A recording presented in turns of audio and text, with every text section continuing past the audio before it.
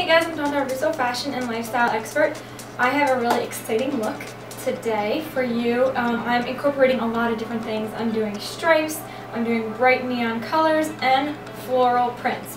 So that's a lot happening, but I really want to show you how you can make it work. So what I started with was this cute little sweater. It's a uh, neon yellow and gray sweater. It's from the Gap, so it's pretty inexpensive.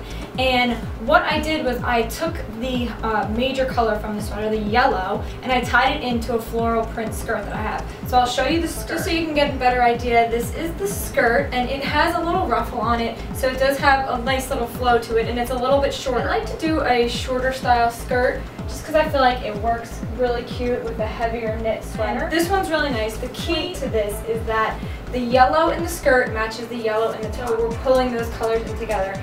And the gray tones it down a little bit. So those are kind of the key factors you want to think about when you are kind of mixing a lot of different prints and colors and styles and everything somehow ties in together. I always like to add a nice belt to the look because the belt ties everything in together First it ties the seam together, but then it also brings the top and the bottom together.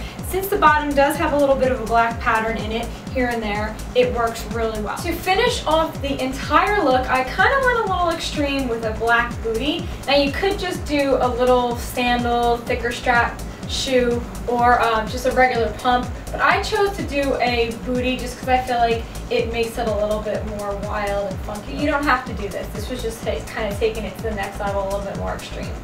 So I know this look may be a little bit extreme for you guys, but it's sort of uh, really branching out and taking it to the next level. And you can play with it your own way. Do a solid on the bottom if you don't feel Or try just your floral print skirt with a solid top. That always works well. Just remember to make the colors work. If the colors work, everything else tends to work a little bit easier. And then ground it with a really nice basic color like, like the black or neutral like I always, always tell you guys to do.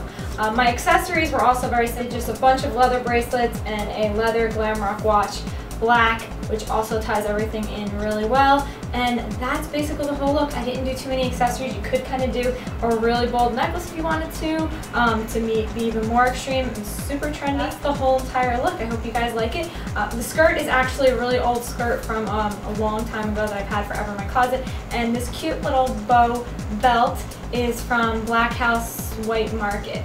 But like I always tell you guys, um, I'm on the app Pose, which is on the iPhone. I think it's on every uh, Android and everything like that. But then it's also on a website, uh, pose.com, so you can find it there too. I list everything, everything I'm wearing, shoes, sweater, skirt, jewelry, all of it's listed there. So it makes it really easy for you guys to find the whole entire look. So come find me over there, uh, at Dawn Del Russo, or on Twitter, Dawn Del Russo, or my blog, My Intimate Affair Fashion. I'll see you guys soon. Have a great day.